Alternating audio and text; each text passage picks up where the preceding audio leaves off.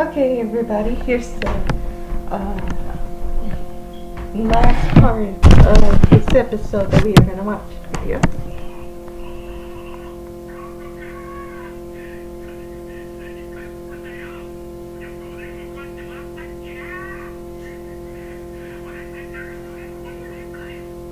No, brother. Who knows? well. It didn't show a preview for the next episode, so I don't know what the next episode is going to be like. I hope y'all enjoyed that last part. Have a good day.